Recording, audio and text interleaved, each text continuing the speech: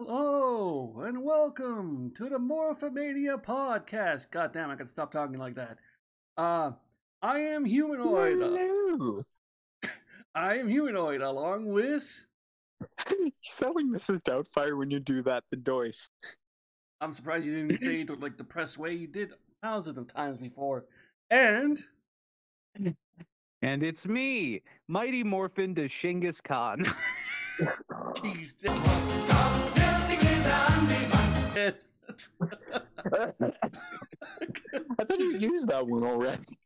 no, I told Oh. you I was going to use that one for this episode. Today's podcast, we're going to do something a little different. Usually we do five episodes, but we're cutting it down to three due to, um, because mostly we're uh, getting burned out too fast, some of us. Me, And it's also two and a half hours long. yeah, so we decided yeah, to do. we want we we want to shorten it a little bit so that certain people don't. At bitch. least just see if it works, and if not, then we might go back to five. Who knows? Yeah. We'll do four or five when it comes to like if there's a five parter or a four parter. Is there another five pow- parter in the future? I keep forgetting if there is or not. There's usually I don't four. think there's another five parter, but I'm pretty sure four and three parters do It's happen. Three and four, but I'm just saying, I'm just saying that for the audience, fool. if there ever is a five oh. or Fool.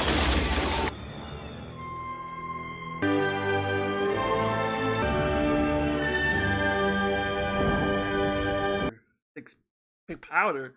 Uh, Six powder. six powder is like three or five it's the powder. powder that tur- it's the powder that turns you into a sixth ranger. So since there's three of us, we're gonna do three episodes each, unless there's like a three or four parter. Is what I'm saying. But we'll see how it Mhm. goes. Uh, you know, because we can easily burn Mhm. out and it takes longer. So, anyways, with that, start with Wheel of Misfortune. God damn it! Why do I talk like that? Episode Because twenty-seven. So anyway, Maybe fuck yourself. Season one, episode twenty-seven, Wheel of Misfortune. uh, it aired November first, nineteen ninety three, and uh, it was written by Mark Ryan and Cheryl Saban, uh, and directed by Terrence H. Winkless again. and hosted by Pat Sajak. I, I was actually gonna say Wheel of Misfortune, where every single uh, wedge is bankrupt. Yes. Yeah, and there's still one lose a turn. one lose a turn, and then one's uh, wedge, which is like the, the, the vacation spot, but it's Vancouver. Yeah, Or Jersey, the vacation sw- the wedge is Cleveland. Cleveland, Ohio, and Cleveland. Oh, Cleveland, Cleveland. Come on down to Cleveland town, everyone. Stop it. Get some help.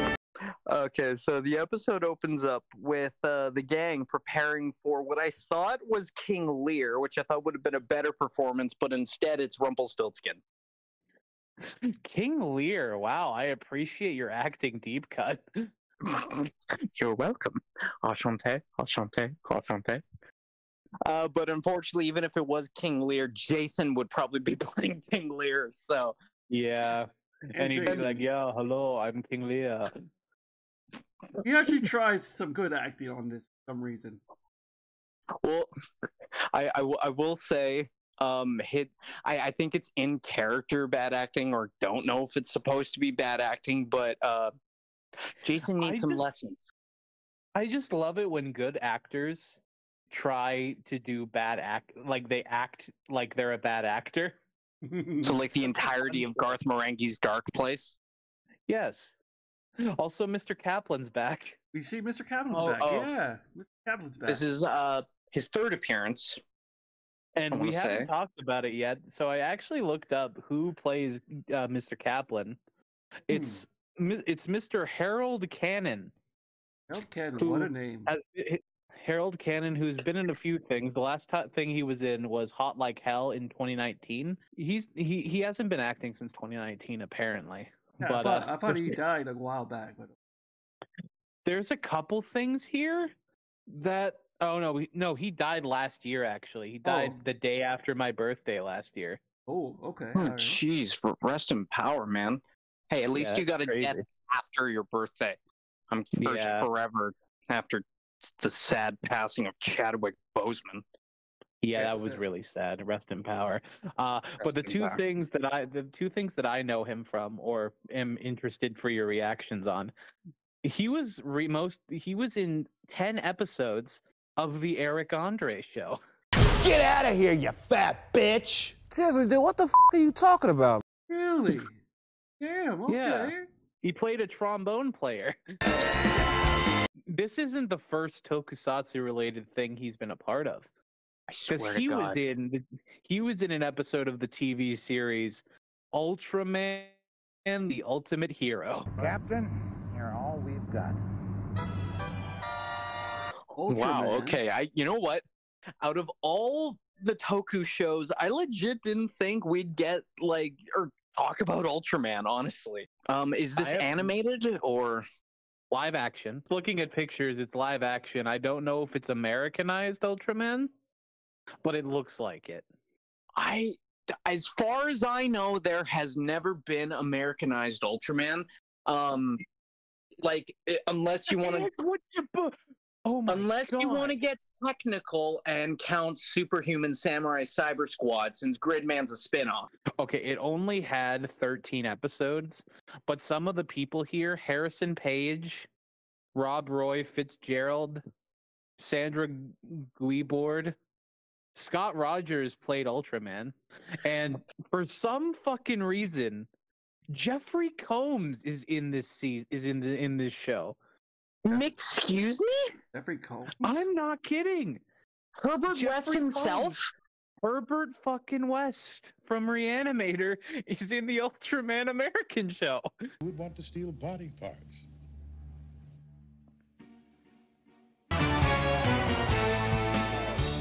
Beautiful, mysterious. Little stunt back there probably cost Pete his life. Oh, relax, relax. He's gonna be all right. Isn't that right, Pete? Pete? Okay, what is this show called again? It's called Ultraman the Ultimate Hero. As far as I can tell, there was only 13 episodes. Uh, Ultimate Hero. Cause, oh my god, 1995. This looks to be the only American version of Ultraman that like has ever been around. Once again, unless you count Superhuman Samurai Cyber Squad. Yeah, and Yeah, Jeffrey around the same Combs is in this, and he plays a character named Roger Schechter. Schecter. The guy, you know, the main character of Reanimator? I never The seen horror the movie? Animator. Yeah, Oh, that's so sad. it's on my list of movies to watch. Reanimator. It's a hundred percent a must watch if you're into horror. Um, uh, he was he was the main villain in the film Would You Rather. If you ever saw that movie, I forgot he was the main villain in Would You Rather. That's pretty awesome. was oh was the leader voice in the Avengers Earth's Mightiest Heroes show, and the good one. Mm. Mm. he he's actually surprisingly been in some other uh Toku or even Toku adjacent products. The the one I want to mention is a lesser known um one known as MacGyver. Guyver, nah, I love that. No, show. not MacGyver. MacGyver, you dum dum. The Guyver. Guyver. The Oh, Guyver. He played the question in Justice League Unlimited. Nice. He did play question, yes. We, we we got off topic pretty bad. Let's go back That's to what the happens. episode. We ramble. Anyway, as I was saying, Jason's bad acting. Everyone's bad acting, to be fair. Like the only one that doesn't act, well, no, actually, Billy is the stagehand slash technical director, and Trini's also not in it. I think the only people that actually act in this are Jason, Kimberly, Bulk, and Skull. Yeah. it's like they're the only people part of part of the play since Rumpelstiltskin is generally like a three or four person performance, but still Bulk being Rumpelstiltskin kills me and his dialogue in his scenes is just like 90s Rumpelstiltskin is a story I really want to see now. I love how he calls Kim fair babe all the time.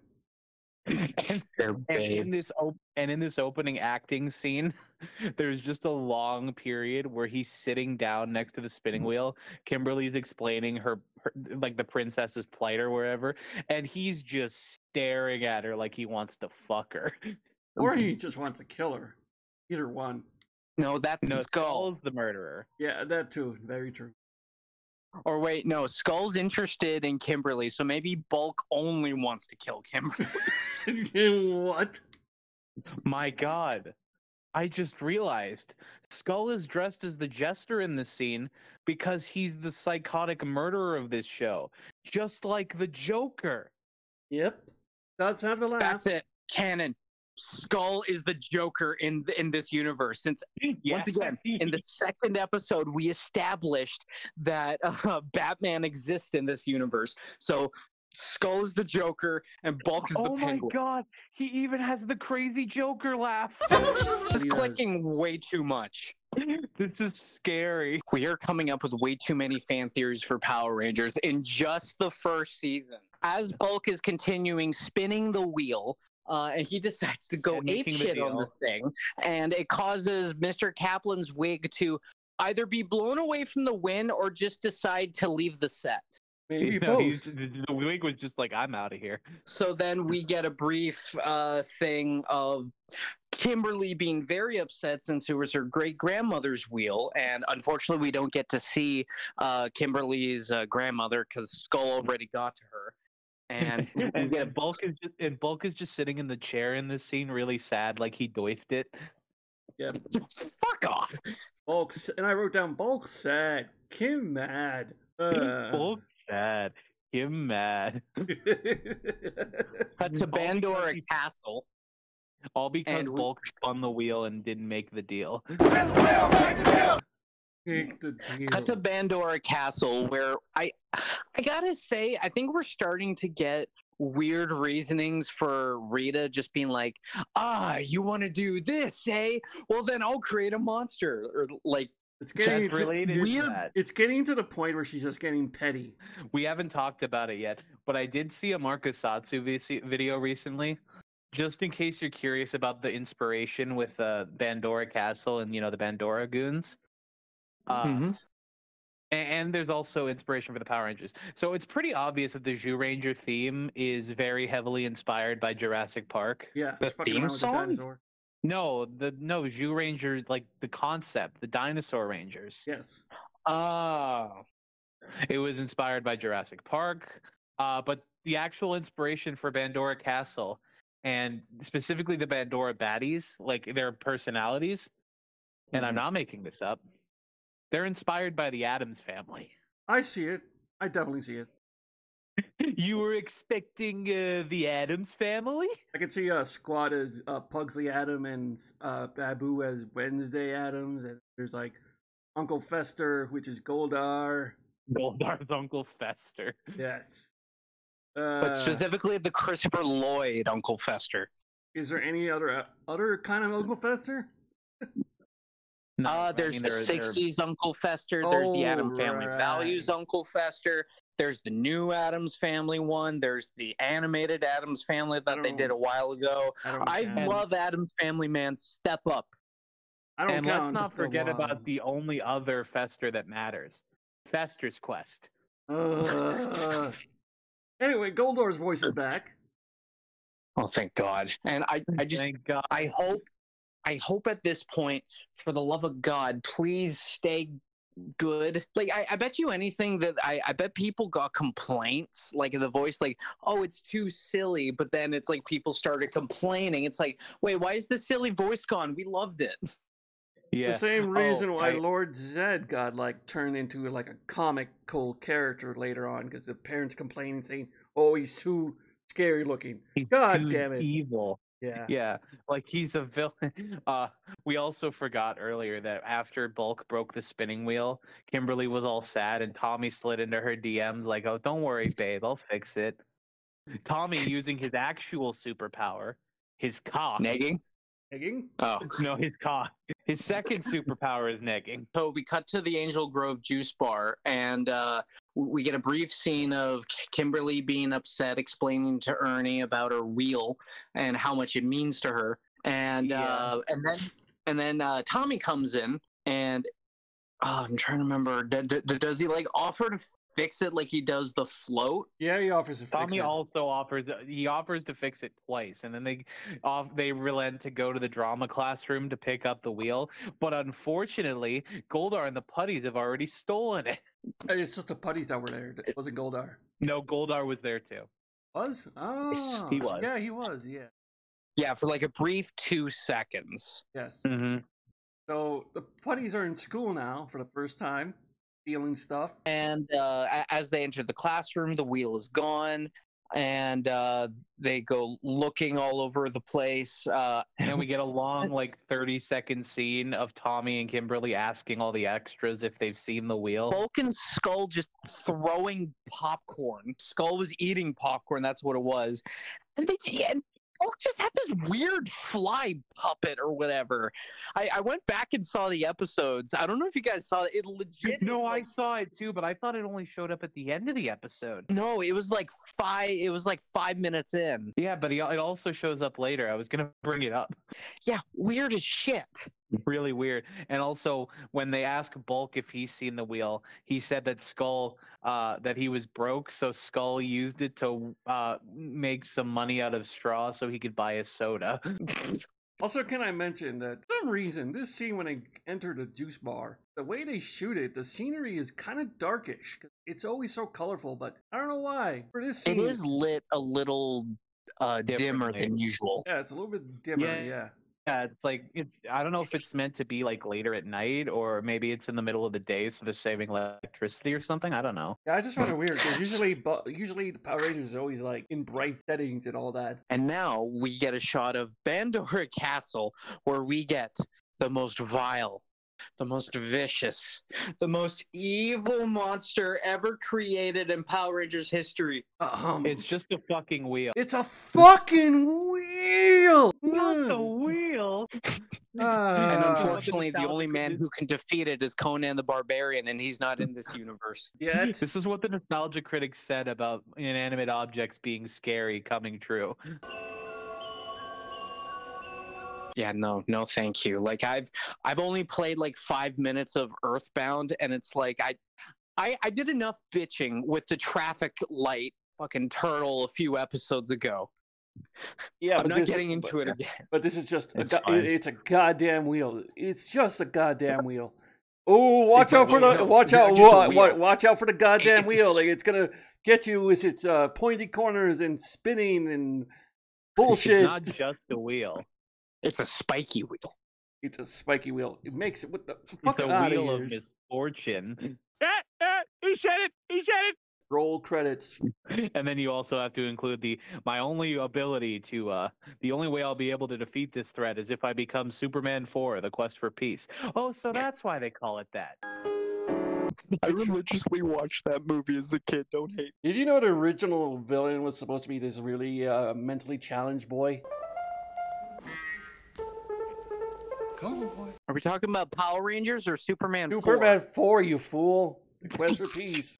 That's stupid. literally a video on YouTube where like the original villain was this like very slow looking dude. Uh, and people saying like the then they change around and saying like you know it looks like Superman is just beating up a disabled boy.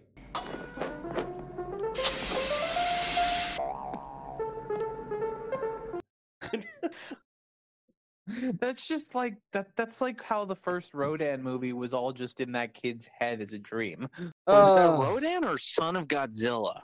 Or no, No, it was- Godzilla's Revenge. It was Godzilla's was Rodan. Revenge where it was, like all both fake. Godzilla's Revenge and Rodan. So t- t- to break it down, those movies suck. Yeah. Indeed. So then we get another shot of Kimberly being really upset. And honestly, I, I always thought that this was a really cute scene where uh, all of her friends are mimicking her with putting her hand on her face. Like, yeah, that to me is like best friend shit. Like, like you and I, I'd probably just tell you you're stupid, and then you'd be like, "Okay, I love you too," and then like everything would be fine. Yes, exactly. Or, or no, no, I know. I know exactly what I would do. I, I would put on my best old man makeup, knock on your door, and go up to you and be like, Hi, I'm Ed Asner. I know that voice. no, come on. Don't expose my love for that scene to the world.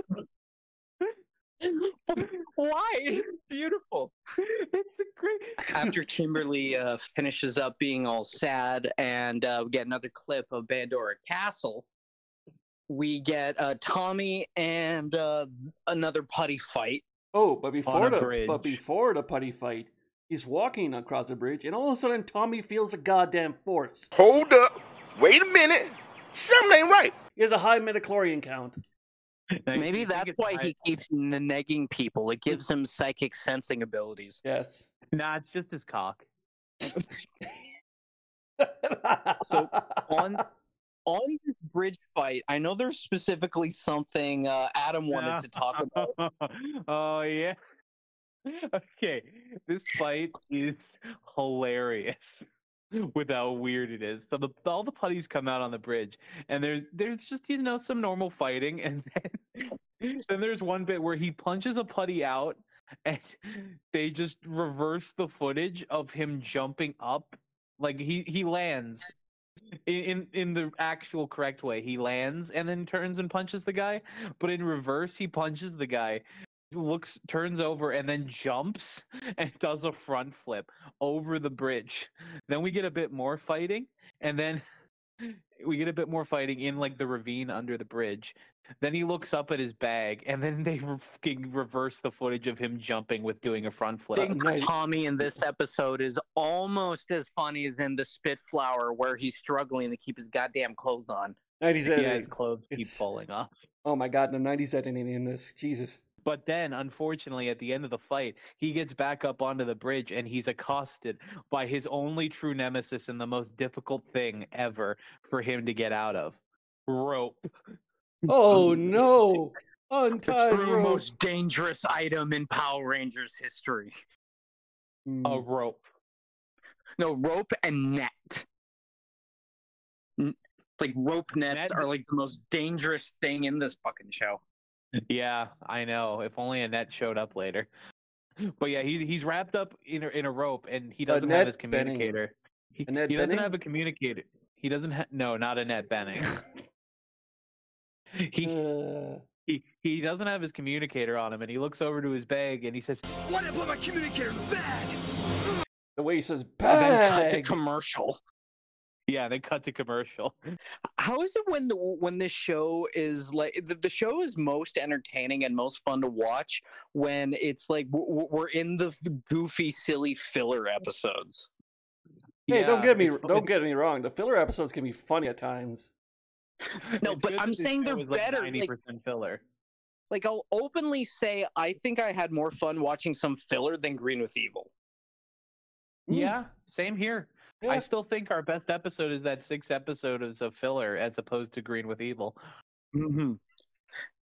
And so we get, uh, I believe they beam up to the command center uh, after hearing word that, um, Beam that. Tommy was captured. Yeah. Beam up. Okay, all right, all right.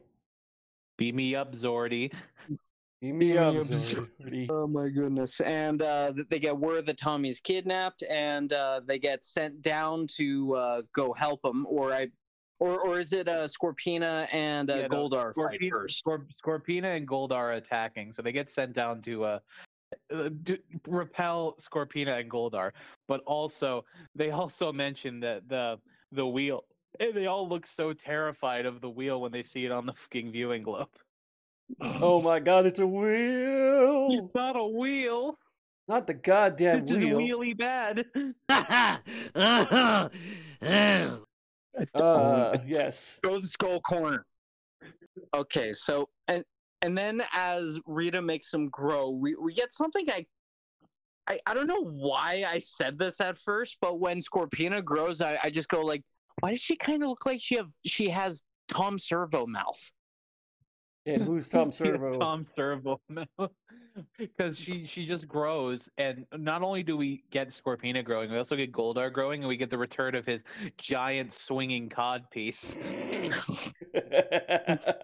Yes, you Power Rangers will feel the cod piece of vengeance. and yeah, then the, after that, Scorpina grows into her monster form, and then she says attack, and when her mouth opens, it does look like Tom Servo from MST3K.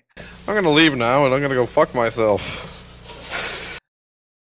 Uh, We're gonna get so many weird or or so, so many people just saying like, "You're stupid, Malcolm," or Doif. They, they, they already know that. They already They know already. that. I've called you Malcolm multiple times in every episode.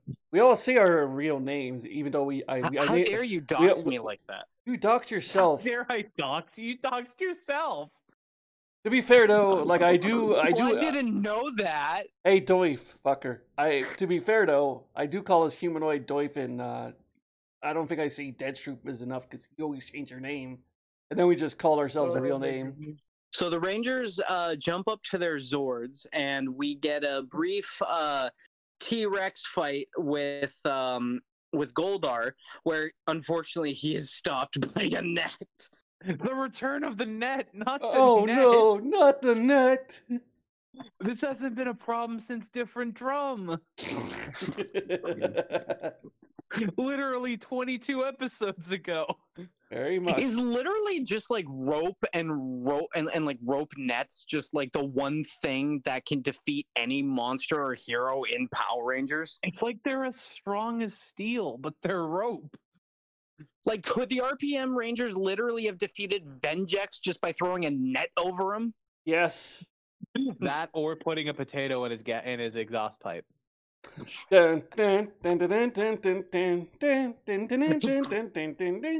Uh, ding, ding, ding. We come back to the command center, and we have Zordon's voice. Yeah, uh, fucking weird ass Zordon voice change because we we cut to Tommy who's tied up in the forest. The putties are looking after him, uh, they're actually looking at his bag, and Tommy's almost got his rope broken through. Mm. So he, he he does the greatest acting in the world. He says, "Oh, guys, I'm sick." Like Oh. really sick. I need some help. And then they all just slowly walk up to him. He breaks the rope and then he destroys them. He even And said, he, he even, go- he even said, you guys are unbelievable. This guy is unfucking believable. Yeah. Then he goes into his bag, pulls out the communicator, and he's saying, Zordon, what's happening? And this is where Zordon's weird voice change happens. Because it just it doesn't sound anything like him. A battle rages on the other side of the park, but more power is needed. I have told Jason to bring all the Zords together to form Ultra Zord.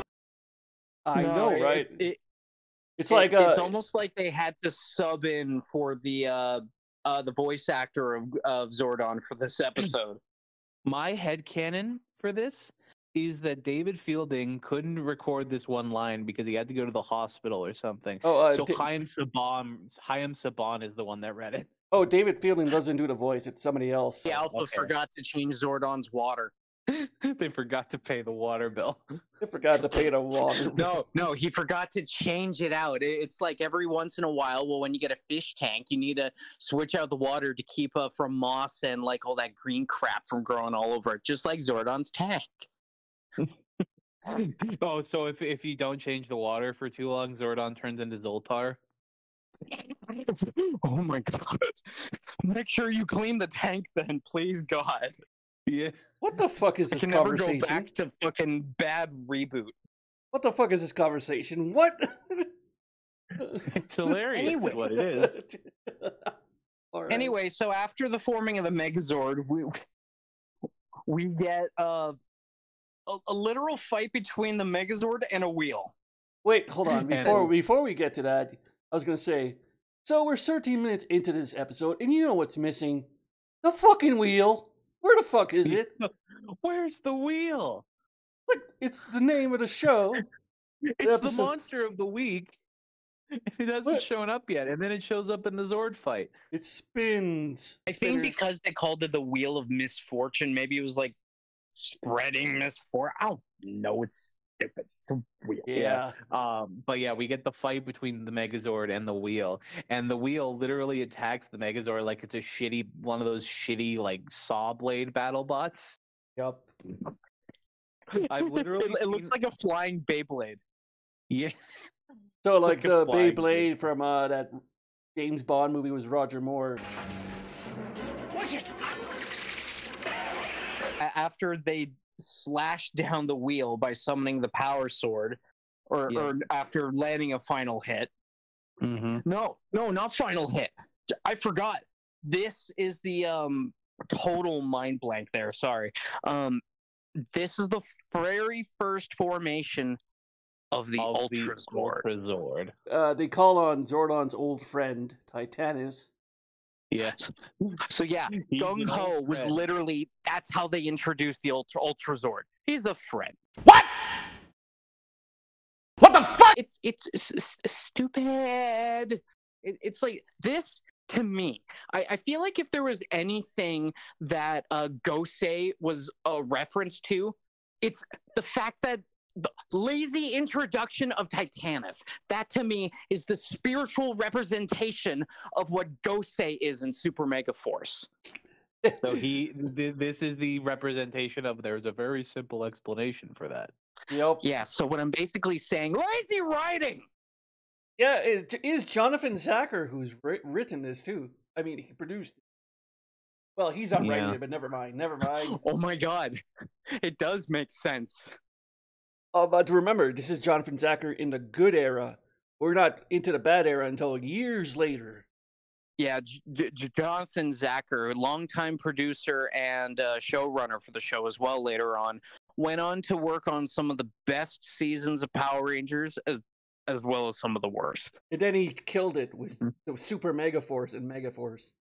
That's what I meant by the worst. I know, that's what I'm saying. He just ruined it. So th- Anyway, the Ultrazord fires off a bunch of cannons that sound like stormtrooper laser noises. Yeah, the Ultrazord though, like we, it's with the Dragon Zord and the Megazord, even though we didn't see the combination until the next episode. This pre, this is weirdly the Ultrazord before the Mega Dragon Zord. Exactly. Okay, Yeah, and then weird. after a, a brief, I, I gotta mention this. This is the only time during the Rita wrap up where we get um, Goldar only. At least also so far. Rita. Also, after after the Ultrazord destroys the spinning wheel, uh, Rita instant Ugh. transmissions away. Yeah. Oh yeah, just Yeah, and it's like Goldar and Scorpina fade out like uh, gradually, but no, Rita is like there one frame, gone the next. 90s editing at your service. Oh my goodness. So last last thing about the Zord fight. Uh, this is something that pissed you off, Malcolm, where uh, the Ultra Zord is the one that defeats the spinning wheel. And then Rita and Goldar and Scorpina all go away. And then it shows a fucking the panning shot of just the Megazord.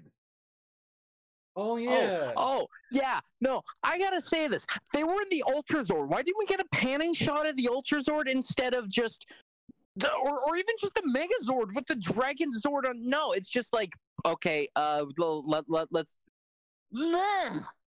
Mm-hmm. A lot of weird, Yeah. a lot of weird inconsistencies in this episode. Yes. and, and yet still not as f- f- hilarious as uh, Tommy's struggle to keep his shirt on. Yeah. so anyway, we get the actual wrap up where the uh, where they go to the dra- drama class. The spinning wheel is back, and Kimberly's all excited about it. And this And is then- where, goddamn, fuck me. This is what kind of pisses me off. I'm now it's my turn. Oh God. so they go back to the drama class and they find the wheel is there. It's like, how is the wheel here? And this is the start of it all. Zordon Oh, chimes yeah. in. Zordon chimes in saying, like, Rangers, now that you defeated the goddamn wheel, the spell has been broken, so everything is back to normal. Henceforth, Yeah, so- everything that happens in these seasons, every time some stupid spell is on there, they destroy the goddamn thing, and the uh, obvious answer is like, the spell is broken. Everything's fine. Fuck you! Derivative writing at its best, ladies and gentlemen. Uh, Restore just- the status quo. Yeah. Now you can go back to the Bulk and Skull. A- And, then, of yeah. course, we, we, we get uh, the play and uh, the amazing acting by uh, Balkan uh, Kimberly. Well, before the before the play before the play, Bulk and Skull are backstage watching TV, and then it cuts to the news, where the news guy from a few episodes back says that once again Angel Grove has been saved by the amazing Power Rangers. Uh, and then after that, Mr. Caplan comes back there, and it's like, "What the fuck are you idiots doing? the curtain is up." And he just and to be grabs fair, him. that'd, that, that'd piss me off if my actors were off doing something else while the curtain was literally up. Speaking of being uh, somewhere else, sidebar. When I was in high school, little story here, doing drama class. Uh, I was doing the thing with uh, my other actors and uh, Cut that bitch off! After that, we get uh, Bulk uh, starting to collect hay uh, for, during the play, and Oh, uh, he no, reaches for- down before- and rips his pants, that, where it's revealed his identity as the Sixth Ranger with a giant six on his ass. before the before that happens, we get a bit of acting with Kimberly being pissed off about Bulk not being on stage. Rumpelstiltskin, did you hear me? And then Bulkle Stiltskin comes out as like, "Oh, hello, fair babe. What can I do for you?" And I'm here for you. And then Kimberly's like, "Certainly, took your damn time." Uh, and then, and then yeah, after that, we get the bow, the end. Oh, oh. oh, you don't Yeah. forget, don't forget Skull's shitty acting because Jason uh tell Jason as the king as King Lear tells uh tells tells the princess, "Oh, you better do you oh yeah, you better uh make all this hay into gro- into gold or else uh I'm going to be very cross with you." Uh and I can't leaves, wait for Jason's one man performance as Hamlet. Yes. he he leaves, and then Bul- and then Skull literally look points at Kimberly and goes, Yeah! Or else! "Or else." Oh, and I forgot one more thing. Uh, as uh, they're about to go back, as they're about to go live, as it were, they're about to like open the curtain again. Tommy said, or uh, uh, Billy says to Kimberly, "Break a leg, Kim," and then Tommy, in his nagging self, literally looks at Kimberly and says, "Don't you dare!" because I need to get in that ass later. Anyway, Yeah. end of episode. Yeah, and uh, not only is it a number six, okay, no, there, it's not the end of the episode yet. For fuck's sake! because I need to talk about the, uh, Bulk's underwear. Yes, It's a bunch of pigs in like in like jockey uniforms. after his ass is exposed to the world, uh, Skull literally says, "Way to go, Bulk! Way to bare your soul to the audience." uh, and then Kimberly curtsies, and then we have end of the episode. then the end of the episode. There it is. I'm sorry, there was a lot to talk about with the play. and now Malcolm is seething. All right, so next episode. I'm sorry, of- now we move on to the next episode uh season 1 episode 28 and 29 island of illusion part 1 and 2 uh, so the main credits, Chris Shoon, for some reason. chris Shoon. Shoon. It's written by Chris And- Shoon and Shuki Levy, and I couldn't stop laughing because of the name. The both episodes aired on November 2nd and November 3rd, 1993, and were written by uh, Chris Shoon, Shuki Levy, Shoon. Stewart St. John, and directed by Terence H. Winkless again. do you think stewart st john is austin's dad You are the father! uh so the episode opens up uh with uh Zach doing some hip hop kido. Actually, it's more just hip hop because he's dancing. Dancing. and he's dancing like no one's watching, despite the fact that Trini and Kimberly are watching. And Trini's all like, "Look at how good Zach's dancing is. He's totally gonna win the the, uh, the dance contest." Bulk and Skull show up and says, and Bulk, who is wearing a toque and his old bee jacket, uh, he's wearing a toque and he's got a ponytail coming out the back of it, and I swear I thought it was dreads.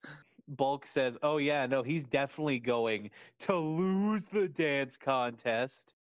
And then Zach literally does like a spinning kick move towards Kimberly, which scares her and throws uh, her smoothie all over Bulk. And, And Bulk they gets don't pissed even off. acknowledge that Bulk is wet. Phrase it! I know what I Yeah, said. no, I know what I gotta- said. I know what I said. You know, I gotta say, despite everything, the fact that they still have unbreakable confidence while being the world's worst bullies is very impressive. yeah, but I'm saying like yeah, no one no one says sorry to Bulk. They're just talking over him, and Bulk in the background is Bulk is really pissed off, and he's and yeah. Zach is has no confidence. He's like, I'm not gonna win. I, there's no way I can win the dance contest. And then Bulk walks up and says, "Oh yeah, but I have a way that I can make you lose." we we cut to Castle Van we cut to Bandora Castle and Rita is uh really pissed off and she's like, All right, now it's time to bring in the big guns. I'm going to show them how what they do when they mess with me. I'm going to show them the wrath of Lokar. Oh, our boy Lokar is first mentioned. And also, she mentions that she's also going to use something called mutitus, Yeah. which just sounds like a weird disease. Yeah, you got some mutitus on you. Yeah. I will talk about mutitus in a second when we We'll get a visual. We'll talk When about get to mutitus when yeah. he shows up. He also mentions Uh, the island of emotion. The Yeah. island of illusion. yeah. But she calls it No, the island no, of emotion. he calls it emotion here. Yeah. And then Goldar calls it the island of illusion. yeah. They can't even get their sto- story straight. Yeah, it's pretty weird. Uh, then we cut to Tommy teaching the minorities. What did he say? How to beat up other minorities. Yeah. oh, damn. Yeah. Okay, so Tommy is uh Is basically te- uh, t- t- teaching his uh, karate class, which he, uh, for the longest time, Jason David Frank actually had in real life as well. my my assumption is that he literally took like a couple of kids from his uh, actual karate class and just brought them into the episode. I could believe that. Yeah, which would be it's a very Jason David Frank thing to do.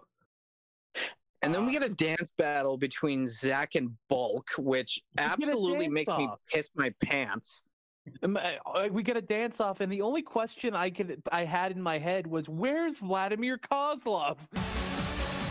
The only question I had in my head is who the fuck is that 40 year old background in the background? With the bald, year old.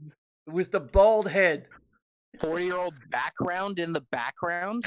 I didn't know uh, backgrounds could age, Andreas. I mean, 40 year old Yeah. background actor in the background with the bald spot. Yeah. 40 year Ah. extra, yeah, in in a youth center. Uh, but yeah, we get a, we get a fun little dance battle where Zach is doing really cool moves, and then Bulk is just doing the Wish.com version of those moves.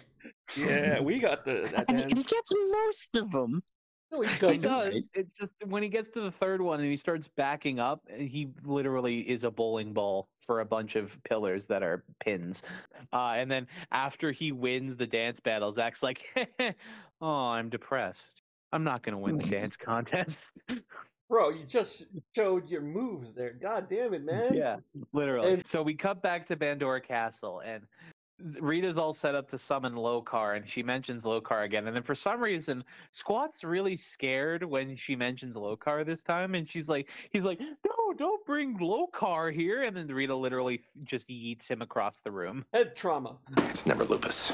I have to say, something I'm starting to realize in Bandora bits, if you notice a bit, you can kind of see the story from Zyuranger leaking out, like specifically with the appearance of the Frankenstein's monster and something I'll mention in a bit. Um, you can kind of see the story of Zyuranger leaking out and kind of see what's going on. Bandora is a Satanist, and Lokar is Satan. And what's his name in the Well, I was Ranger? gonna get to that. But what's his name in Zyuranger though? Satan. Satan. Okay, just Yeah, it's just Satan. a devil. Yeah. He's just Satan. I'll get to I'll get to this later, you fuck. Squatt gets yeeted. And uh, we cut back to uh, the youth center, which is now in the middle of an earthquake. Uh, yeah, middle Again. Of an earthquake, earthquake again because Rita is is accumulating so much like evil energy that it just causes an earthquake in Angel Grove. I feel like Uh, at this point, uh, Angel Grove is going to end up like No Man's Land in Goth or Gotham and just go No Man's Land. Oh yeah. Yeah. Yeah, at this rate. But but Gotham's already exists. Hmm. Yes. well, oh, maybe that's what's going on right now. The earthquake is causing No Man's Land in Gotham. That's hilarious. Okay, good. So yeah, uh we get that bit and uh then uh the Rangers are all really worried about this, but then they just like walk five feet over and despite everyone running in around in the youth center, uh they call up to the command center and Zordon is like, "Yes, Jason, I know that's this is happening. I I've been detecting really highly unusual spikes of energy from Rita's moon base." And go. Malcolm, did you have something you wanted to talk about in this scene? And now, our feature presentation. Okay, okay. Now, allow me to completely unleash my fucking anger. Okay, so allow me to explain or, or just elaborate on something. So, Zordon Mm-hmm. knows where the moon base is, knows where Rita and her goons are located. Yep. Why the hell doesn't he just take the Megazord there? And yeah, there's this whole stupid, stupid rule, which, yes, when it comes to being on the Earth, does make sense. Don't escalate a fight. People get hurt. It's the moon! There's no people living on the moon! Who could get hurt? Moon people? There are no moon people! No moon people can die because there are no moon people! No one can die on the moon! Malcolm, what if Uh, but Malcolm, it's not a fair. Malcolm. Fi- Malcolm, it's not a fair fight though. No, that's not what I was gonna say, Malcolm. What about the moon cheese? Can't jeopardize the moon cheese mines. Uh, you can't- It, you know, you see, if they jeopardize, but no, even just by having a villain be on the moon is jeopardizing the moon mine. She's mine. But sir, again, I gotta disagree with you. Like, because it'd be unfair fight if you just send the Megazord to the moon base, unless it's the moon, though. Who cares? Okay, I'm done. No one's on the moon. Literally, no one is on the moon. Like the only thing you could possibly ri- risk is like the Rabbit Hutch from Fourze, but even then, that's not there yet. This whole goddamn show could have ended, but Zordon is a lazy fuck who probably doesn't want to send the Megazord because it probably burns out double A or triple A batteries. Oh, we'll get No, to you- that when you know? I- you Terra know what? comes. You know, you know what? I just thought about it. Maybe the maybe solar power doesn't work in space. probably. Well, once and always, the Megazord does show up there, but that's later on. I have a headache. Oh, he has a headache. That's the perfect place to end it right there. Anyway, we're gonna continue. Yeah, so unusual spikes from Rita's moon base, and uh, all the Rangers are called uh, to uh, help deal with Goldar, and who is uh, he's wreaking havoc thanks to this earthquake. Uh, Tommy was going to go help them, but then he sees his little his little children cowering under a table. Phrasing. Yeah, yeah. So Tommy, and I'm not changing how I phrased that. Uh, so Tommy instead decides to save the minorities. And he's on his side quest again. Yeah, he's on his side quest. All the Rangers teleport to, or they like go outside, and we get like a regular fight between the rain the Rangers without their costumes and the uh the putties, which I have to say is a really good fight. Has a lot of really fun spots, especially Zach with all of his weird hip hop kido kicking. It he's just doing a really good job. Yeah, I find, did- I find weird I- though is that like they're all getting gearing up to fight, and Billy takes off his like uh jacket thing that's in his uh, waist down. Yeah. But you only see Mhm. four of them fighting. Billy j- doesn't do anything. You, you don't even see him do anything. Billy's the tactician. Obviously, he just needed to take it off because it weighs him down from running away. Very true. Very true. Um, I, I just had to bring this up because I was um, curious with this uh, specific um, with this specific fight scene. I, I wanted to look up the uh, stunt coordinator and Nice. stunt coordinator or fight scene coordinator. I don't know if they got two different people to work on stunts or fights, or if they just got one person for you know because it's like a uh, non-union TV show. So who Yeah. knows? Um, but his name is Jeff Pruitt. Or he's the husband of stunt actress Sophia Crawford. So if you give me a sec, I will pull up Sophia Crawford to see if there was anything of note she was in, and yes, she was. She was. Um, it looks like she was the, the stunt double for Buffy in Buffy the Vampire Slayer. Cool. Yeah, That's a, cool. That's awesome though. I dig that. that's a pretty cool credit and I, I i could even see her maybe doing it once in a while too because i do know that sarah michelle gellar also did her own stunts in that show as well Yeah, I'm sorry that you flipped out. Uh, I'm gonna keep talking now, so you don't have to talk as much. Uh, thank you but uh, yeah, you're welcome. So yeah, we get that really good fight. We also get a bit in that fight where Trini, uh, Johnny Cage is a putty, where she goes into the splits and hits him in the dick, Oh, that was a good one. That was a good one. which is very. i cool. didn't even put that I didn't even put that together in my first viewing. That's very cool. Uh, we we get that, and then this whole time during the fight, Rita has been casting her spells, and she's like, "Oh yes, finally the final spell to unleash Lokar," and uh, she does the spell, and then doesn't say who's actually coming out, and who shows up, but a giant weird Frankencorpse. What the fuck is that? Uh, this is Mutitus. I brought this up because it was something I noticed immediately, and I think this is where um, the unfortunate use of of uh, Sentai versus Power Rangers comes in. Is that this is clearly a, or I wouldn't say clearly, but because it took me a second, but is a half melted version of the Frankenstein monster. Yeah, it literally is like that's why I said it's a Franken corpse. Yeah, so it like almost maybe they revived him after uh like dying a bunch, which it does Yeah. make sense considering Frankenstein won't stay dead. It's in he, he was in the Lazarus pit chilling with Ra's al Ghul. There's already way too many connections to Batman as is. We don't need another one. The, the, they summoned the Megazord and the um, and uh, the, the Grow Big or Grow Big. Yeah. Phrase it! They, they man. get they get in the Megazord and the Megazord and after they put the Megazord together, a Jason is the one that says, Right, let's go get Ugly Man!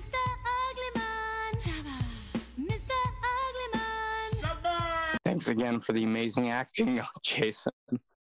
and I think I think Ugly Man would have been the better name than Mutitus. So we, we get a little bit of Mu- of Mutitus fighting this Megazord, and then out of nowhere, oh, Minority Report.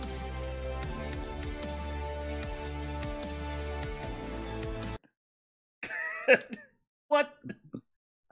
We cut back to Tommy with his minorities. Oh yeah, All Hence right. Minority Report. Minority Report. Oh my god. yeah we cut to that uh tommy gets a message on his communicator he steps out of the room for a moment and he's he's right next to a dare poster I remember Dare. Do you remember Dare? It failed. i vaguely remember dare i, I was Dare came at to my school a few times.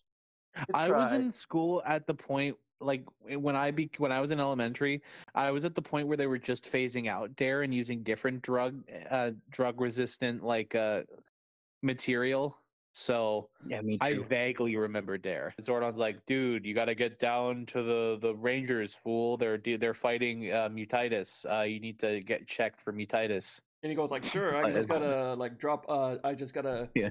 I just gotta leave these kids He's gotta alone." drop the kids off at the pool. I thought you were gonna say. no, he talks to Ernie and tells him like, "Hey, can you take care of these kids even though you don't know them?" Sure. Yeah, can you can you watch my your minorities? They're already playing your arcade games. Yeah, and he's trying to fix a plate, isn't he? Yeah, he's like got a broken plate from the earthquake, and he's trying to glue it back together. During the uh, Mutitus fight, uh, we finally get as the sky goes dark, and we get The coming from the go out. sky in a ball of fire. We get Lokar, who, as as you said before, Adam is voiced by, uh, or no, it is Satan in the Japanese show. But Yep. I gotta mention voiced. this by Robert freaking Axelrod. He's Fucking voiced by Robert. Yeah, the legend himself. And- Rest in peace, Robert Axelrod. rest in power, man. But something I gotta say, something that clearly stuck out to me was he does the Lord Zedd laugh. This is Axelrod's trial run of Lord Zedd before Lord Zedd was a thing. I'd almost say yeah, like like yeah. maybe. Um, m- m- maybe like his performance in this episode, which is really just his laugh because it's the best part of it, is like, hey, let's bring that guy back for something. And then he just ends up being the most iconic villain in the series. You know? I'd say one of, if not the, actually. Yeah. Yeah. Just saying, let's bring him back. Besides doing Finster, he can do something else. So Lokar uses his breath of doom, as Rita says, to transform Mutitus into a weird dragon thing that is Yeah. that is still that is still Mutitus. And then they fight for a little bit. Uh the Dragon Zord is here as well, by the way. I don't know if we mentioned that. The Dragon Zord came in. Oh yeah, and Scar was there. and there's a lot of fighting, and then eventually, fucking Mutitus opens his mouth like Tom Servo again, and tilts your head back and moan. and instead of just saying something, he's just spraying toxic foam all over them, which just looks like a damn bukkake. And then Jason goes like, "Oh no, toxic foam!" But if you take a look at the monster's design specifically, you can actually see the new head. It's coming out of Mutitus's old head. Uh-huh, coming. Yo, oh, I didn't even catch that. That's actually really cool. And then we get a dumb thing because it looks like they stuck Satan's head right in the middle of his chest. You can actually see in this monster's chest, like right in the center of it, it looks like a blue log with like, sorry, Lokar's hair on it. Oh yeah. Oh yeah. Like, I'm sorry, low car's a freaky name, but when your character is Satan before, it's like everything else is just lesser. Yeah. So it basically, yeah, Mutitus got the mark of Satan, and that's why he's scary. Uh, so they've been beaten down by the bukkake of the toxic foam, and Rita now takes this chance to transport the Sentai actors to the island of illusion. It's clearly the Sentai actors. Yeah, like Burai's even there. Like, what the fuck? Yeah. They're wearing white pants. That's how you can tell. Uh, so they get transformed through the devil. I, I originally thought it was just a rip in space time, so I called it the Devil's Anus. Devil's but uh, it's actually they're just thrown into the island of illusion. La- or all six of them land straight onto a palm tree, and then they begin to explore the island of illusion. And as they're exploring, Kimberly gets scared by a ficus. A shrubbery. Oh, before that, uh, command center like Zordon says, Alpha saying, "Oh no, they went to somewhere we can't get them. How do we get them out?" And Zordon was saying, "With confidence, they got to figure out their confidence. Get the fuck out of here, Zordon." the real superpower of teamwork. Yeah. So after they get sent to the island, um, we I want to say we get weird shots of like animals, a bearded dragon, or no, not A bearded dragon. A Komodo. no, a Komodo dragon. During all of this exploration, we keep seeing shots of a weird little man that's lo- watching them from the woods.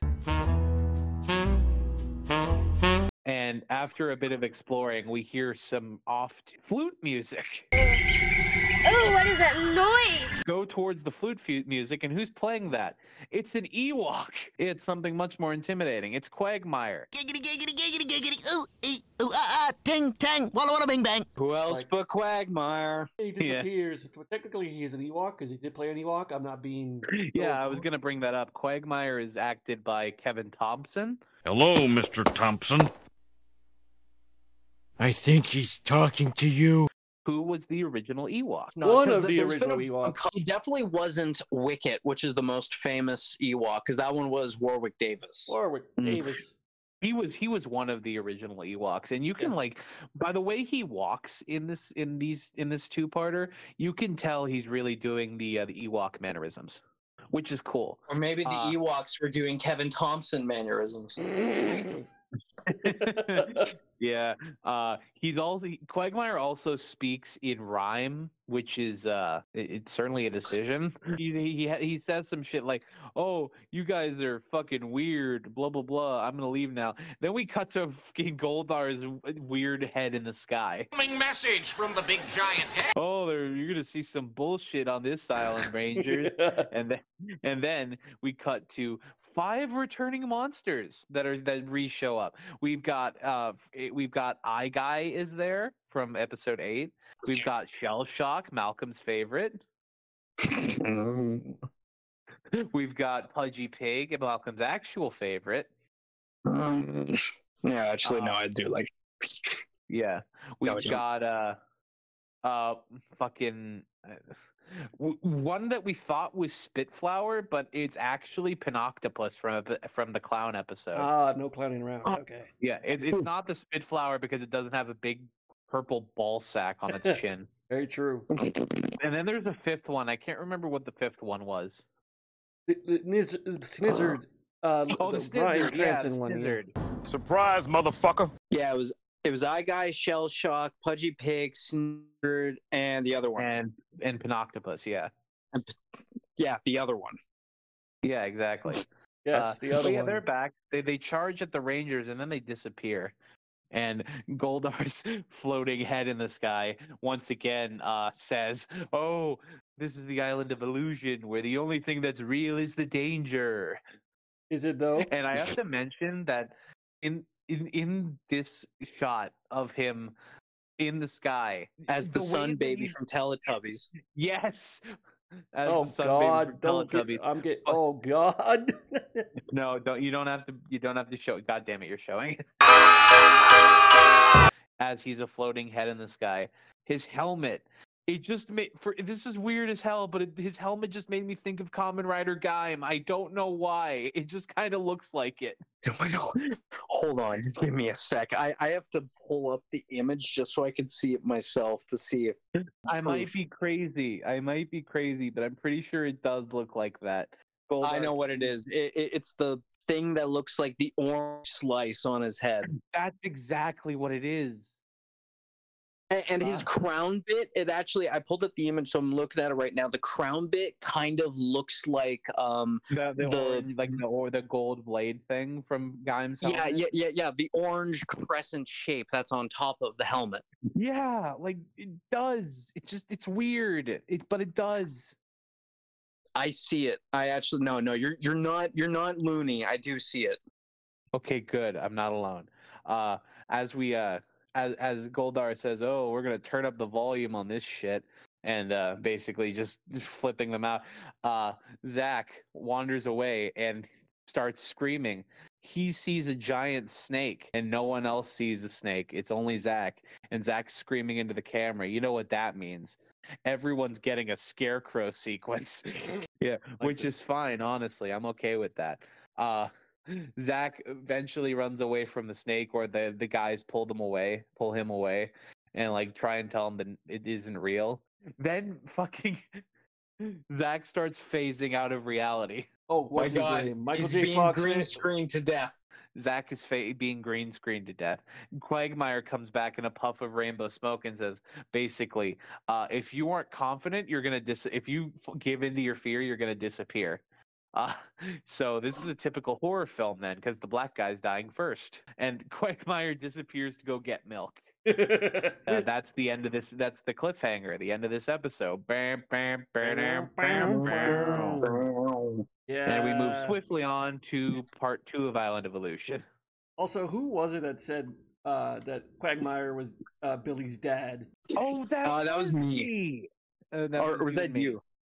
No, that was That you was and us. me. We kind of came up with that idea where Quagmire is just Billy's dad that went to get the milk and ended up on the island of illusion.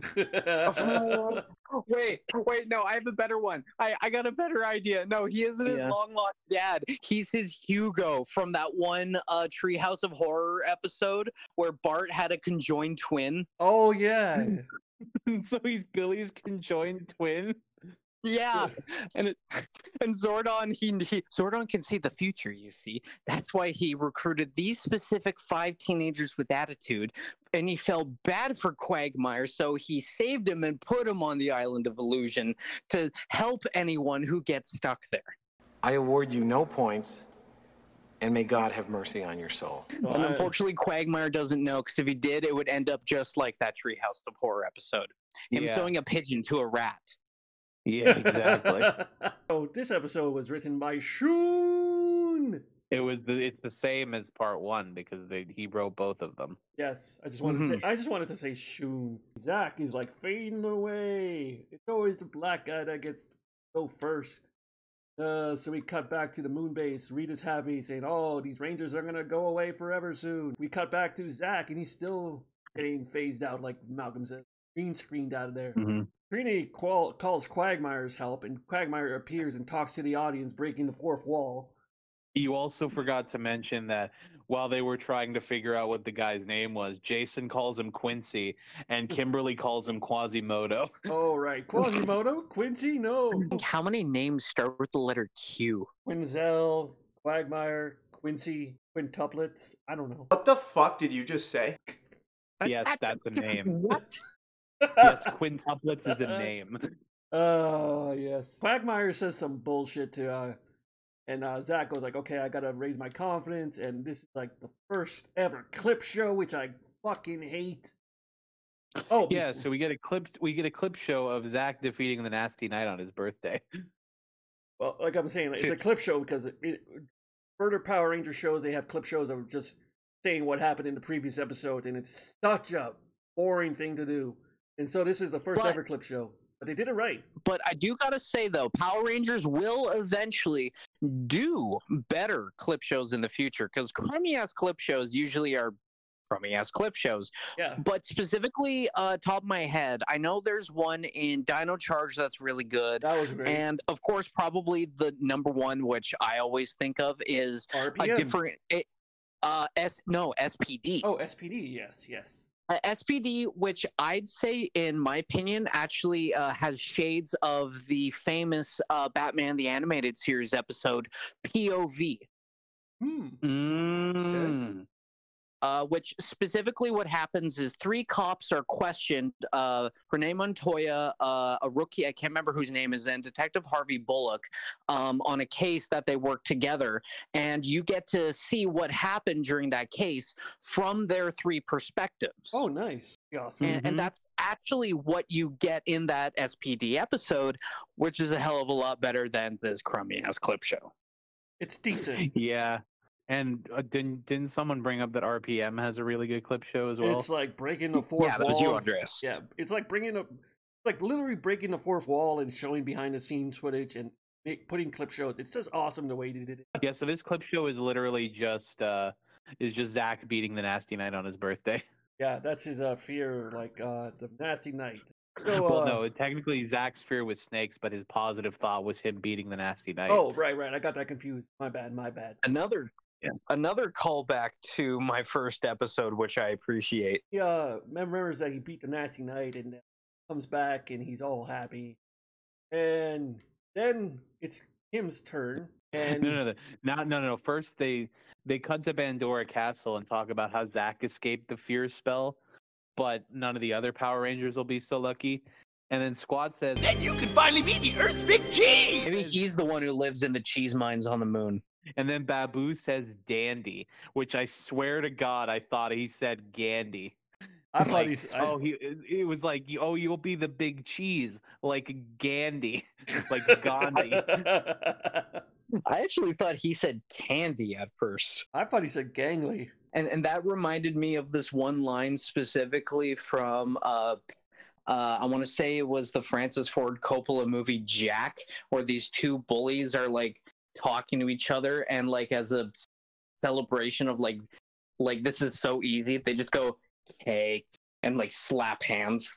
Cake. Wasn't that Cake. Three Ninjas where they said cake? Maybe just saying cake is a '90s thing. I don't know. No, it's not. We never said that. Yeah, no, now we say cake referring to someone's ass, quote, quote, Alpha 5, quote, quote. Yeah. Alpha We cut back to Alpha 5 in the command center fixing the computer and then gets a shock on the ass. So he, he uh, the computer's getting me too'd. In the criminal justice system, sexually based offenses are considered especially heinous. Yeah, cancel this computer. Yes, cancel that computer. so we come back to the Rangers on the island. They're talking, and they, Quagmire comes back saying like, "Oh, random bullshit. I can't remember anything he says because it's all in rhyme." And he disappears like a puff of smoke. And Yeah, Billy and then- goes like, "Oh, based on my calculations, the way to get our communicate. Oh yeah, the communicators and uh, morphers are gone. So goes, Power coins. Power coin. We gotta go the other way, that way, because of the wind resistance. How does he know? How does he have a 98% probability that the power coins are in the direction they just came from? I don't know. Because Billy is Professor Frink and knows everything, apparently. So Billy is Jigsaw, is what we've gotten out of this. There's a simple explanation for that. For fuck's sake, shut the fuck up, Gose. Oh my god. So uh, the big giant, the big giant head comes back and makes fun of them, and then um, and, Kim's and says that there's going to be an illusion to uh, facilitate Kimberly's confusion. yes, and uh, Kim walks away going like, "Oh my god, I can't believe this." And what's Kim's fear? Bulk and Skull being angels. Bulk and Which- Skull being nice. Which I'm puzzled, which like at first I was like, isn't this like what she would want? Like the dickheads being nice. But then if you think about it, Skull in uh, fucking Super Samurai when he shows up never changed. And so, in her eyes, them being like they always are is what she wants. What do you mean he never changed? Mm-hmm. He did change. He became rich. No, no, no. You see, the reason that she's scared No, of I'm saying that they don't being- become like like clean cut like Oh. suit like they're still wearing like the, the, they're still bulk and skulls Right, right. Sorry, Adam. Go yeah, ahead. just in just angelic. Yeah, the reason she's actually scared of Angel Bulk and Skull is that she saw the movie Dogma. Oh, oh, damn. Behold the Metatron, herald of the Almighty, and voice of the one true God. oh my god and, and and and she knows that they both don't have junk They're basically just dog. Now, at this point, I'm just begging for the Metatron to come out. i'm as anatomically incorrect as a Ken doll So the Rangers see that Kim is looking at nothing and are worried. Literally, like, Yeah. Kimberly literally says, "If Rita can make Bulk and Skull nice, she can do anything," and then starts fading out of reality. oh yeah. And then we get etrigan the little elf on the shelf showing up again For fuck's sake! he talks in rhyme again. Don't know what he said, but he said like, "Just stop being afraid, fool," and disappears. Be positive. Yeah. And Tommy's all worried because he goes like, "Come on, Kim, you gotta beat this. I gotta get on that ass later." Cancel humanoid. You can't disappoint my cock, Kimberly. So Kimberly thinks back to like the sni- is the snizzard guy. No, it's not the Snizzard. It's the Terror Toad. it's the terror toad Terratoad. Terratoad, yeah. And like how he Another callback to another one of Malcolm's childhood episodes, Power Ranger Punks. Power Ranger oh Punks. no not not episode uh novelization Yeah, book. So she remembers beating the Terratoad by throwing her uh bow With bow, the Twinkie cam. the Twinkie cam, the bow into the mouth of the Terratoad. And she comes back, and Tommy's all happy. And then mm. Tommy starts And- getting schizophrenic, is and he's looking and then all weird. of a sudden he gets flashbacks of the editing from that one episode where he can't keep his shirt on and he starts mm. fighting it But hold on, hold on. Starts- His greatest fear is putties for some reason, even though he's been beating them all all this season. He's been beating the shit out of Putty since he started working with the Power Rangers, and now he's suddenly afraid of. them. Yeah, it's like what the hell? Really? Really? oh And what's even better is that the putties that he's seeing are actually the, the Rangers. Yeah, exactly. And yeah, it's like, damn it, Ma- really? He, I just gotta say that. Really? Putties? Yeah. it, it honestly seems like the first two fears are really good they ran out of uh, ran out of ideas for the rest except for jason at the end Well, for But we'll get to Tommy, they could have just said his biggest fear was turning to evil again, but I don't know. They could have done that. Stupid! You're so stupid! Yeah, I wish. Yeah, did you know that. what? That would have been great. And Jason is just evil Tommy. So we cut back God, to the we're so much better at writing than Chris Shun. Troon. sure So we cut back to command center and Shun, please. Uh, yes. Shun! Shun, please. And then Oh. rumple foreskin shows up again No, wait, wait, wait, wait, hold on, hold on. Sorry, um, and then we come back to command center and God, oh my God! Jesus Christ. What the fuck, Malcolm? rumple foreskin oh my God! oh, that's amazing. So we come back to command center, and Alpha's wondering if he's fixed this thing. He presses the button, and he gets shocked, and he goes all haywire. It's like, ay, ay, ay, ay, ay. And And starts bouncing off the fucking computer. uh, we come back to Yeah. uh, Rita's palace, and uh, Rita's happy, saying like, "Oh, it's all going great." So, um, cut back to the island. Is it? It, it is, I think. Because two out of the six have already broken her spell. But she looks happy. I guess. Yeah. Uh, it seems like now she's like I, I believe what's going on is like she's saying it's trini's turn now or something Uh, Tommy is fading away, and uh, Quagmire shows up on a tree, does a bunch of rhyming, tells him like, "Hey, do something." And I then- s- Do something. so Tommy thinks back to do something so since do Tommy something so since Tommy's fears is his putties, what does he think of to get back his confidence? Beating up some Him putties. beating up putties. What the fuck?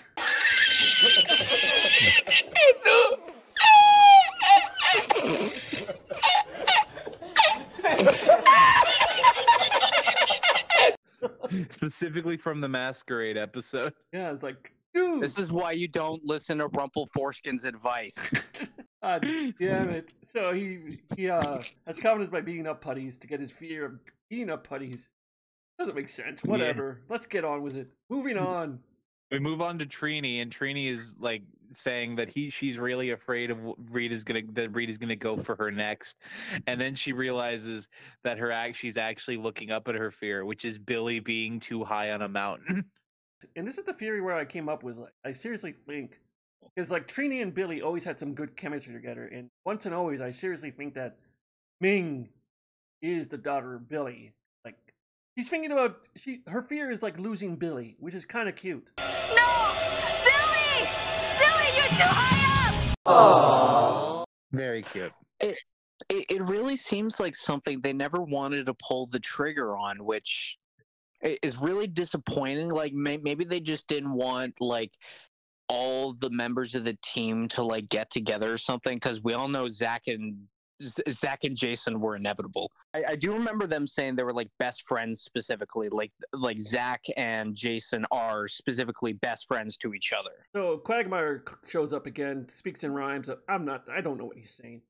Tells her to Talks st- about her fear of heights, and then her positive thought is her literally murdering a putty by throwing her him off the cliff. and saving Billy. Yeah, but Yeah, murder. So thanks for the help again, Green Gordon. Ah, yeah, Fucking Gordon. Gordon.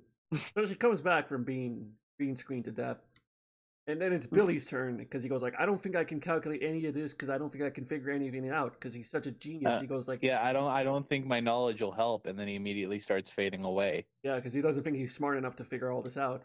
And uh, Mhm. Quagmire comes back behind Jason, like behind his bush. Like, what's with you in bushes?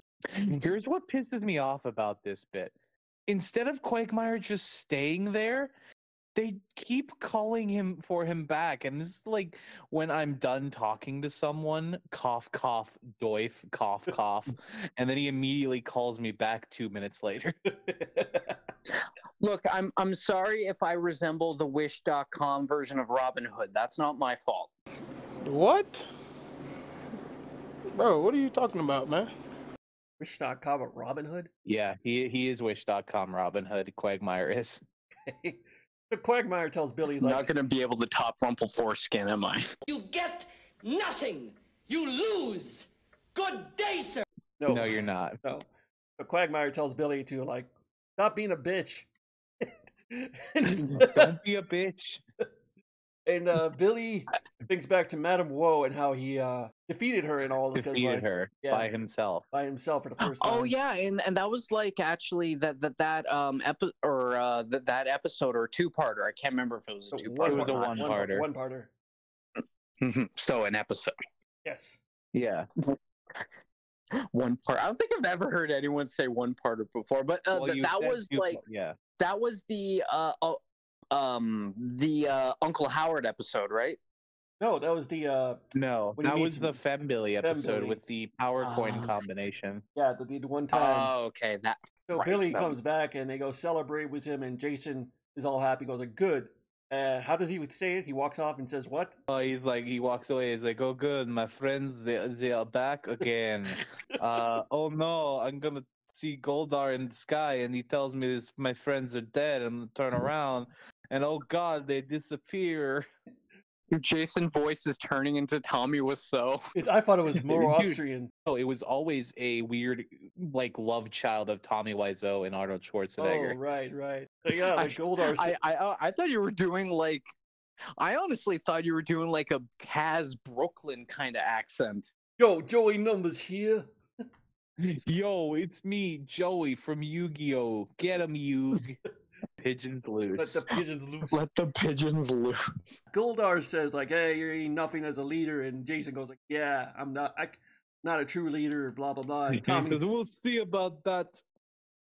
Him, um, I gotta say, like as I said earlier, um, specifically with um uh, I believe it was Billy and uh, Trini faded away. I thought their reasoning was eh, not that good, but for Jason being last and having his fear being letting like letting everyone down and everyone fading away, I gotta say like because Jason, I think, is the least developed character in the original season series of Power Rangers. Um, I think this is a good leader, like fill in for him. Like he true, it shows he truly does care about his team. Yeah, that was the, that's why we said that makes him a great leader because he was always the best. He was always serious.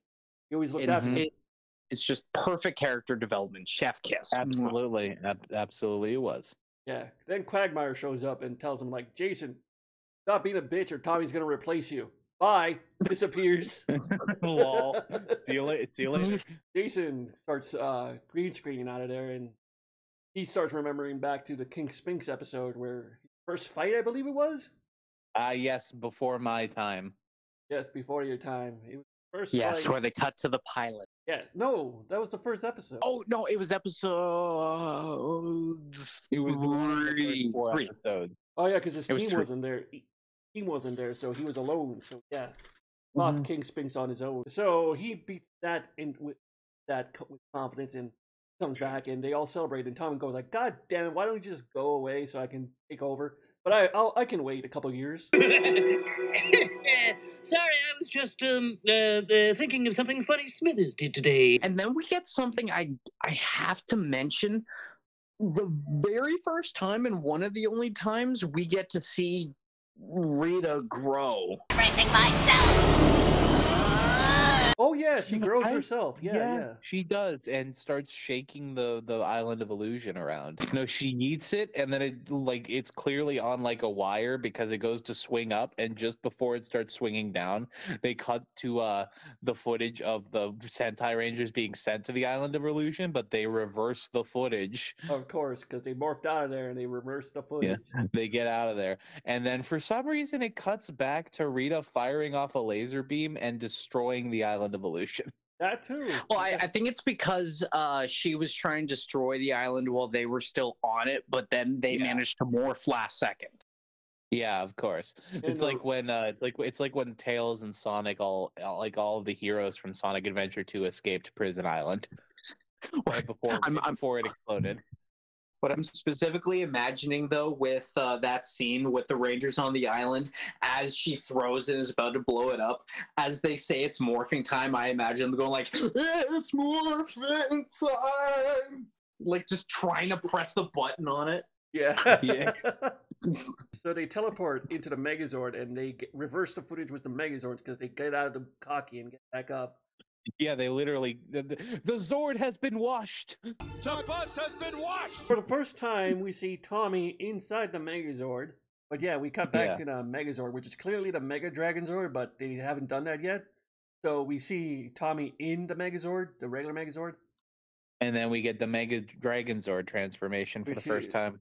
Amazing. And, and we get to see him use the power of Z over Z. Here's my issue with the Mega Dragon Zord. It's just the Megazord wearing the Dragon Zord as a hat. yeah, it really is. Kind of cool. Where does I the rest of his body go? I always thought this form as a kid was stupid as well. So, like, honestly, not a hot take in my opinion. Always thought Dragon Zord in fighting mode was way cooler.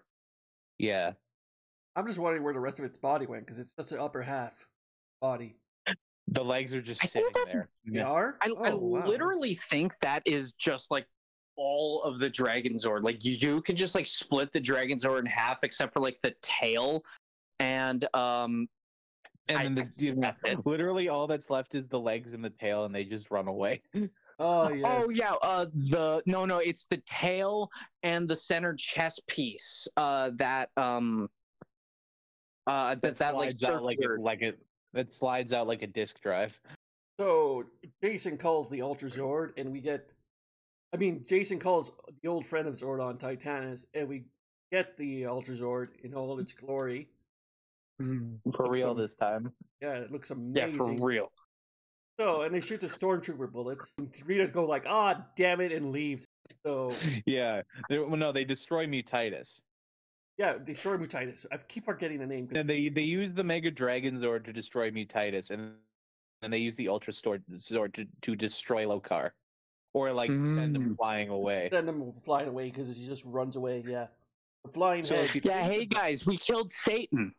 Yeah, I was about to say, if you think about it, the Power Rangers, six teenagers with attitude just killed Satan. Well, Lokar does return later on in a different episode. So we cut back to the youth center, and Bulk is doing a dance, sort of. There, it's the dance contest, and Yeah. uh, Hulk is trying to dance, and then he ends up flopping on his back. Uh, Skull starts pulling him up, and then the judges give him the following scores: the left judge zero, the right, the middle judge one, and the Russian judge on the right negative three. Yeah, it's like that's not good. And Ernie goes like, "Well, damn, Bulk, uh, just go over there." So Ernie goes like, "Uh, that that's not good. Uh, the Zach, get in here, save this." So and now it's Zach. So Zach is still not calm and goes like, "Man, I can't do this." Shut up, Zach. You already had we we, are, we did this already. Come on, man. He's like, we went to an island. What the fuck is wrong with you? goes like, "Oh yeah, sure." And then he starts dancing away and weird ass music in the background. You killed Satan. What's there to be afraid of? There's no more hell. Yeah. And Uh, yeah, oh God. So When there's no more room in hell, the So- dead will walk the Get the fuck out of here. Damn it! Why'd you? it's a good movie though. It's a good movie. That's Great. it. Mighty Morphin Power Rangers has officially started Dawn of the Dead. All right, let's Uh, go to the mall. Boo! You suck! So yeah, da- Zach is dancing, and uh, they're saying like, "Who's the DJ?" He's has some smooth moves. Like I'm wondering. No, he the doesn't. DJ. That's some really bad music. But they say, "Who's the DJ?" And we see Hornswoggle. I mean Quagmire. It's Quagmire. Who else but Quagmire? Giggity, giggity, giggity, giggity, let's have sex. So Zach wins, and we never see Quagmire again because Skull just murdered Quagmire. no, no, Quagmire went to get the milk again. Oh right, exactly. And Ernie gives. Well, no, And they- unfortunately, uh, I think Skull caught wind that he was associated with the Rangers. Oh God. So Zach And and after after after, uh, after Zach finishes, this the judges give him perfect tens. Ernie announces him the winner, and he gets the trophy. And then he's like, "All right, guys, let's dance." And then the fucking ending credits pop up. said, "Let's boogie." Yeah, and then the ending credits pop up before they can boogie. Yeah, like '90s freeze frame. Yay! Da, da, da, Wow. So, thoughts on these three episodes? Go- Uh, go Doif. Oh my god! Honestly, the, this was a lot of fun. The, the, this two-parter was really entertaining. Like, just um, honestly, like as as much as I called it a crummy ass clip show, the clips were relatively short. Um, Relevant. yeah, relevant to some degree. Um, and they were to episodes that like I think all of us had like positive connections with and like enjoyed watching. So it's like Mhm. it wasn't like we were being forced to watch like um like a to use another Simpsons reference, that one uh clip where it turned out Seymour Skinner wasn't Seymour Skinner. Wheel of Misfortune was really great. Uh this two parter was really great. Um I again hot take. I think when they're just having fun and doing non um, storyline based stuff where it's more sort of like there's not really a technically um a like quote unquote like story as in like later seasons of Power Rangers, but like generally whenever Tommy's the focused, I'd say that's where it's more sto- like actual like canon story stuff instead of just like filler. But I think that's where the fun lies in in Mighty Morphin Power Rangers. I think when they're just having fun, doing their own thing, d- doing their own thing, that's where the peak of the show comes in for me, or the Alright. best of the show. That's Mhm. fair. Uh, Adam. yeah uh th- these these were very fun episodes wheel of misfortune had a lot to talk about and even though the mount monster of the week was a fucking wheel Yeah. uh it, it had a lot of fun things to talk about like the editing and the fucking tommy fight and like all the miscon all the issues and like different inconsistencies with like zordon's voice it was a lot to talk about and honestly half of the fun is uh like I wouldn't even say half of the fun. 75 to 80% of the fun with these episodes is recounting all the fun bullshit that happens on in the episode on this podcast. Mm-hmm. So uh when that's probably why I like doing filler as opposed to really serious story work because with Green with Evil and other like story based things, it feels like people have talked about them to death Very and true. there isn't a lot of room Mm. for experimenting. But with the filler, it feels like you can talk about a lot of the weird inconsistencies and bullshit. So I think that's why I personally love doing filler as opposed to story stuff. Uh, also, Island of Illusion had a lot of fun things to talk about as well. The clip show wasn't like completely catastrophic. Uh, I found it honestly kind of entertaining, and uh, the uh, all the stuff in part one was also very good.